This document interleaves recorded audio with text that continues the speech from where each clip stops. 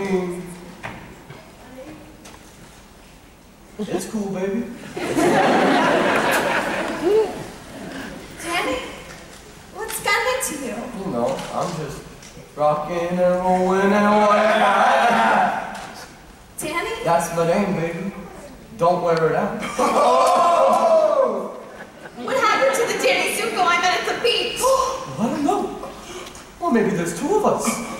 Should take out our missing persons out of the paper and check the yellow pages. oh.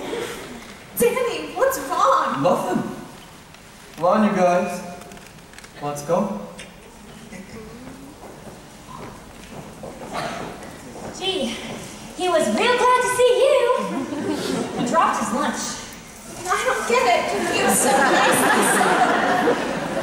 Don't worry about it, Sandy. Boys are like rats. Boys are like fleas on rats. Boys are like measles on fleas on rats.